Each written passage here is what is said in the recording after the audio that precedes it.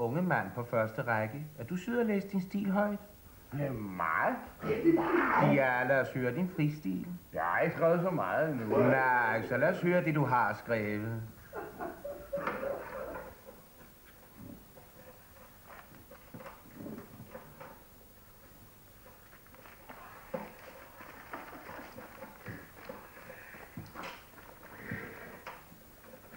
Første dag.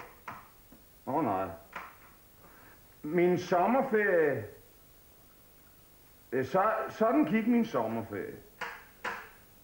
Øh, første dag, da jeg havde sommerferie, vågnede jeg.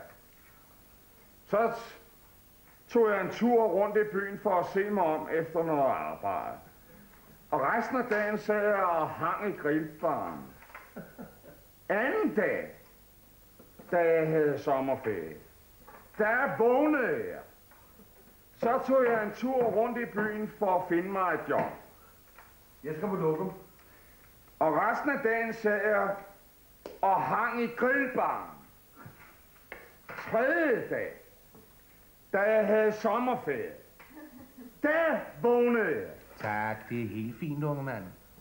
Og så tog jeg rundt i byen for at finde et job. Tak, udmærket, tak. Og så fik jeg et job.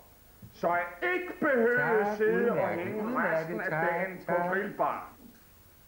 Fjerde dag, da... Tak.